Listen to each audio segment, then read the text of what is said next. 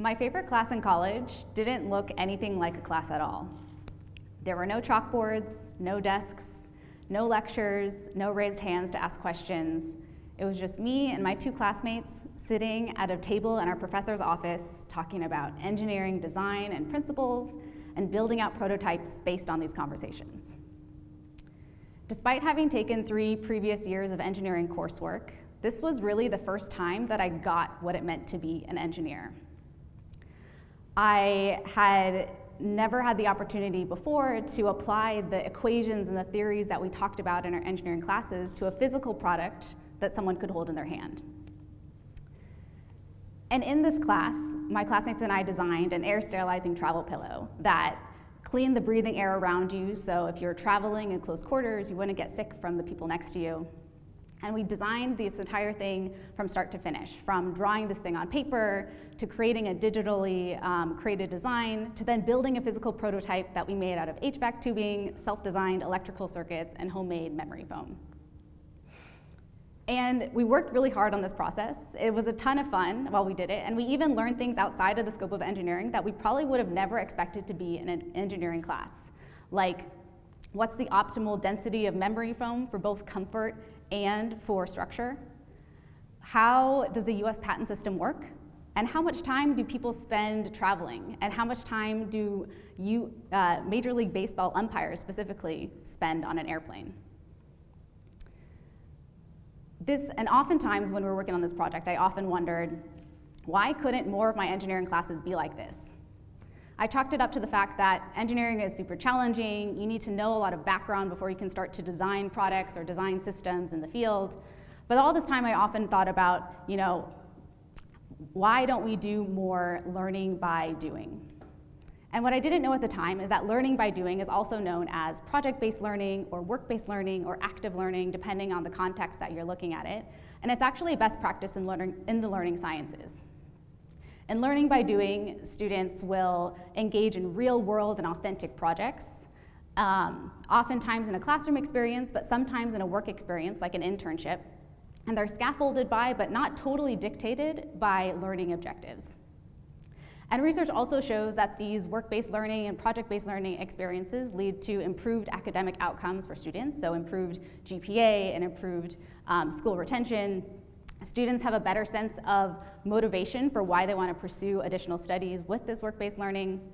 And they also have a better sense of their skills and, and how they might uh, create more learning incentives for themselves. They also gain a range of skills from hard skills like technical skills to soft skills like professional and, um, and leadership skills.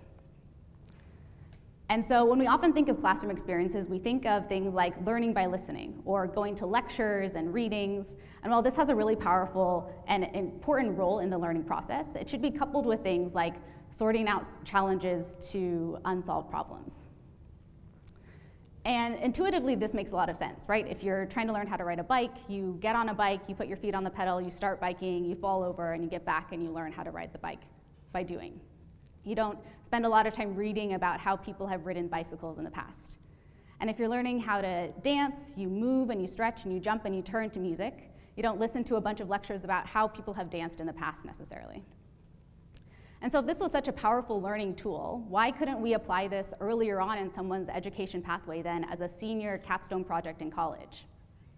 What might it look like if we took uh, work-based learning and incorporated it into introductory course material for, for students to really understand what they wanted to do and how this was related to what they might want to do in the future? So I tried this out when I started a community engagement STEM program in Baltimore City that was centered around computer programming and applying that to the real world. And rather than teaching computer programming to high school students um, by you know, memorizing a new computer coding language and figuring out what this new logic was all on a screen, I wanted to incorporate some of what I did in this senior design class that I had participated in and loved so much to a high school experience. So we use this thing called a Raspberry Pi, which is a co computer that's the size of your palm and $35, that you can connect things like lights and LED screens and fans to this computer and use computer code to control how these objects operate in real life. And so when students would learn how to code, they could think in their own words about what they might want these lights or what they might want these fans to do. And then use that to translate into computer code and see how that plays out in the real world. And this was really cool to see how students would navigate this experience, and we were able to work on a, a ton of projects, including building these hydroponic indoor computer-controlled gardens inside of the classroom. And similar to my senior design experience, this didn't look much like a typical classroom at all. Yeah, students sometimes were sometimes at desks, at their computers, doing computer code, but they were also using power tools to build these indoor farms that we had. They were cooking with the vegetables that we grew in the classroom, and they were also creating videos of themselves talking to potential future students who might encounter the same challenges and how they might overcome them. And while I thought computer coding is a really awesome skill to have, and I was really proud of the stuff that my students were doing, I was also curious how these students might direct their energy if they were given an opportunity to do more than what was outside of the traditional curriculum and classroom experience. And so I wanted to build in some of these work-based learning components that I love so much in the, in the senior design course that I did and connect this classroom experience to the real world. So in this class, we talked about things from improving education and city infrastructure to starting uh, businesses in the city and it was really awesome to see students light up and really engage more and take ownership into these new types of projects that wouldn't have traditionally been in a classroom experience. And what was really cool to see was students who might have come to late class, come to class late previously, or not been as excited to do certain things that we were doing as class activities, really take initiative and leadership in some of these other things that we had talked about. For example, coming to class at 6 a.m. or coming to school at 6 a.m. before classes started to run a sandwich business that stemmed out of conversation that we had in our classes. So this was super awesome, but one of the challenges of this is that it was hard to maintain momentum of work-based learning once students left my class. So for the juniors in my class, there wasn't any guarantee that they'd have flexibility to continue this type of work-based learning after college. And for the seniors in my class, there wasn't any guarantee that they would have the supports and flexibility and freedom to continue this type of work in their next endeavor. And we often think of learning for young people as what, whatever they do in school, but we also know that learning happens outside of school all the time.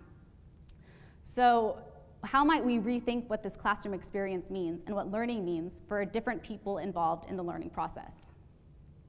I mentioned earlier that work-based learning boasts a ton of benefits for the learners involved, but what I also didn't mention is that it also benefits the employers involved who are hiring these students in, from work-based learning experiences.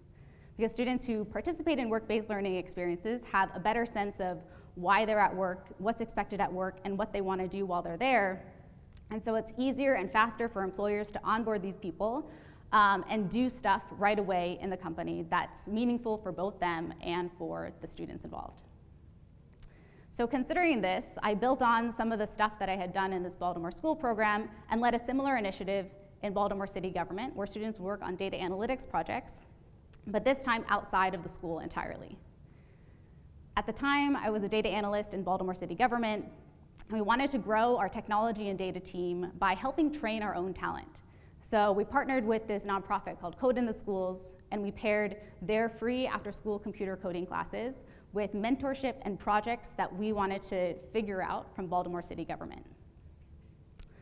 And this was a really powerful tool. We kind of created this apprenticeship-like approach where students were learning and working at the same time to kind of see how both things were benefiting each other.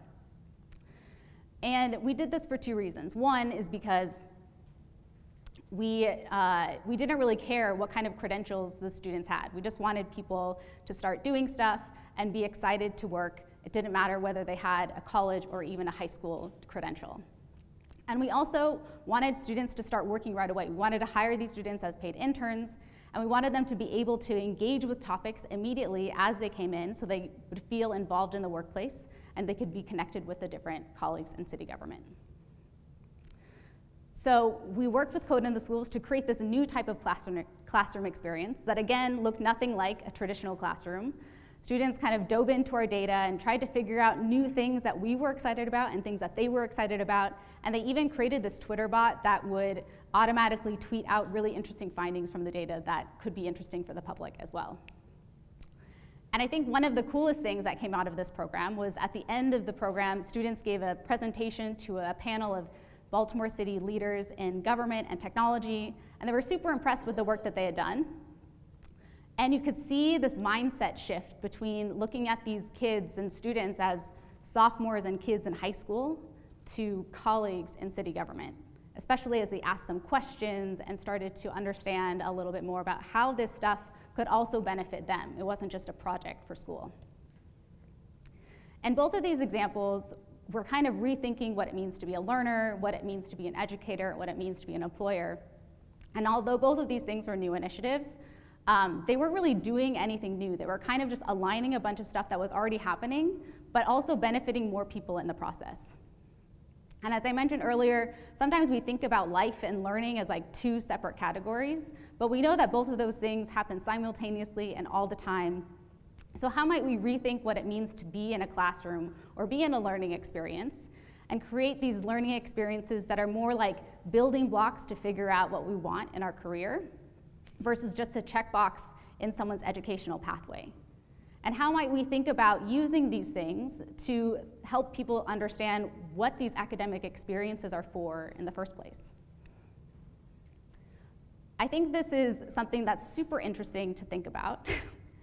and, and, and I think it's something that there's such a huge opportunity for more people to get engaged with it.